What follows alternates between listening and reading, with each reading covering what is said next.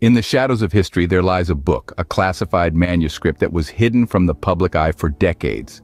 This book, birthed in the tumultuous year of 1966, carries a tale as peculiar as its contents. Penned by an acclaimed engineer, its pages were immediately cloaked in the heavy drapes of classification by none other than the Central Intelligence Agency. The question begs, why? Why did the Guardians of National Security see fit to squirrel away this literary work? What secrets did it hold that were deemed too potent, too perilous for the public to bear? The answer, my friends, lies shrouded in a cloud of intrigue and speculation. This book was no ordinary tome. It was not a collection of rambling theories or wild conjectures. It was in fact a detailed account of information that could send ripples through our understanding of our world. The kind of information that could potentially cause widespread panic and unrest. For years, the existence of this book was but a whisper in the corridors of power. It was a phantom manuscript, a specter that hung over the heads of those who knew of its existence. Its presence was a closely guarded secret, its contents a mystery that few dared to unravel. But then, the winds of change began to stir. A crack appeared in the fortress of silence surrounding this elusive book, a Freedom of Information request, like a beacon in the night, shone a light on the existence of this hidden manuscript. And thus, the world came to know of the book that had been kept under lock and key for so long. Yet, in a twist that only deepens the intrigue, the CIA released a mere 57 pages of the original 284-page manuscript. And even these, they admitted, had been sanitized, stripped of whatever it was that made them so dangerous. The veil of secrecy that surrounds this book only thickens the plot. What could be so perilous in these pages that they had to be sanitized? The man behind the words was no ordinary scribe. He was an engineer, a man of science and reason. His name was Thomas E. Clark, a well-respected figure in the world of engineering. For years he had been known for his groundbreaking work, innovations that pushed the boundaries of what was thought possible. He was a man of logic, a man who believed in facts and figures, not myths and legends. Yet there was an unusual shift in his work, a deviation from the familiar path of engineering and into the realms of the unknown. The book that was classified by the CIA was not about engineering or science, but about a topic far removed from his usual field of expertise. It was about the end of the world, about pole shifts and mass extinctions, and about the true story of Adam and Eve. Why would a man of such scientific prowess delve into such topics? Perhaps the answer lies not in the why, but in the how. How did he come across such information? How did he stumble upon knowledge that was deemed too dangerous for the public eye? There are whispers, hints of hidden knowledge that Clark might have stumbled upon during his work. Perhaps it was an accidental discovery, a byproduct of his scientific research. Or perhaps it was a deliberate pursuit, a search for answers to questions that have plagued humanity for centuries. Regardless of how he came across this knowledge, one thing is certain. It was a secret so big, so potentially catastrophic, that it had to be hidden away, classified by the CIA and kept from the public for over 60 years. In his pursuit of knowledge, our author stumbled upon secrets that were deemed too dangerous for the public eye. And it is these secrets that we will attempt to unravel, to uncover the truth hidden within the classified pages of his book. Oh, only 57 pages out of the original 284-page manuscript were released, but these pages were not untouched. These documents, once pristine with the author's original thoughts, were subjected to a process that the CIA themselves termed as sanitizing. The released pages have been carefully edited, redacted, and in some cases completely rewritten. It's as if the CIA had a mighty broom and they swept away the bits they didn't want us to see. Among these sanitized pages, there are numerous references to cataclysmic events, pole shifts, mass extinctions, and even to Adam and Eve. There are tantalizing hints of a grand narrative, a story that could potentially turn our understanding of history upside down.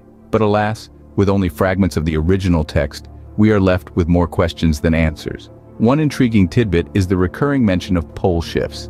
The author suggests a cyclical pattern of catastrophic pole shifts that have resulted in mass extinctions. It's a chilling thought to imagine our world turned on its head literally and metaphorically. Another fascinating element is the reference to the true Adam and Amp Eve story. The author hints at an alternative version of this biblical tale, one that might not align with traditional interpretations. Could this be a metaphorical representation of human evolution or perhaps a coded message about our origins? We also find references to advanced ancient civilizations that predate known history. These civilizations, the author suggests, possessed knowledge and technology far beyond what we can fathom. What happened to these civilizations and could their fate be a warning for us? Despite the sanitized state of the release pages, they offer a tantalizing glimpse into the author's mind and his controversial theories. However, with over two-thirds of the original manuscript still classified, we can only speculate about the full extent of the author's revelations. What we know is merely the tip of the iceberg. The main body of this knowledge remains hidden in the classified pages. The fear that permeates from the sanitized pages speaks of an imminent catastrophe, a potential end of the world. This is no ordinary doomsday prediction. The author speaks of a pole shift, a phenomenon that could turn our world upside down, quite literally. Imagine if you woke up one day to find that north was now south and east was now west. It's a shift that could cause tectonic upheaval, triggering earthquakes, tsunamis, and possibly leading to mass extinctions. This is not a wild guess or a science fiction scenario. The author, using detailed geological and historical analysis, suggests that pole shifts have happened before. They could be a natural and recurring event in the Earth's long history and according to the author, we might be overdue for the next one. But the author doesn't stop there. He delves into the story of human origin, the true Adam and Eve story, as he calls it. He suggests that our ancestors may have survived a previous pole shift, and that this shared traumatic event is embedded in our collective memory, passed down through generations in the form of myths and religious stories. Now, imagine the impact of such revelations on society. It could change the way we understand our history, our world, and our place in it. It could cause panic.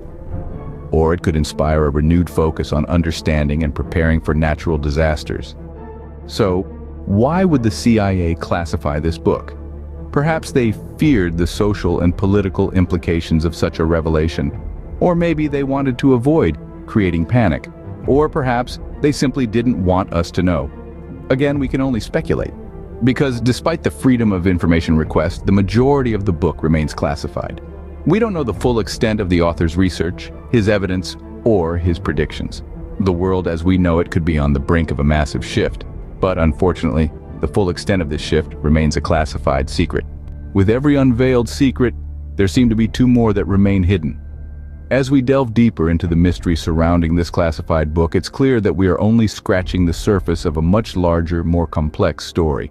Let's recap what we've uncovered so far.